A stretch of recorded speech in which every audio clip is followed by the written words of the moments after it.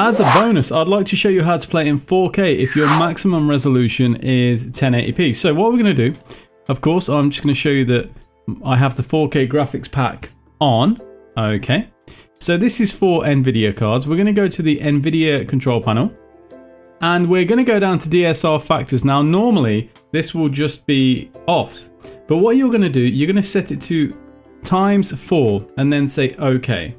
Now, what you can do is go into your resolution setting. Okay, so screen resolution from the desktop. Pick your monitor that you're playing on. And then you're going to see an extra option here.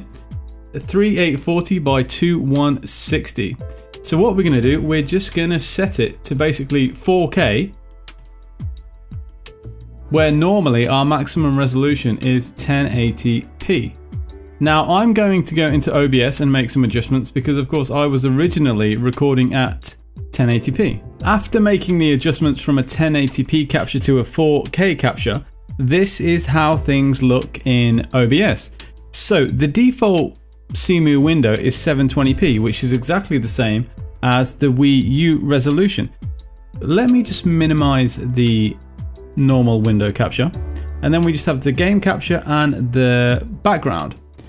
So if you're curious, this is what a 720p screen looks like on a 4K background. But of course, I have the 4K graphics pack enabled. So what I need to do is simply go to full screen. And now you're ready to play and capture in 4K. Of course, the presentation of this video is in 1080p. This is aimed at the extreme enthusiast my system right now is struggling because it's capturing and playing at 4K. Once you're done playing around with 4K, remember to put your settings back to default.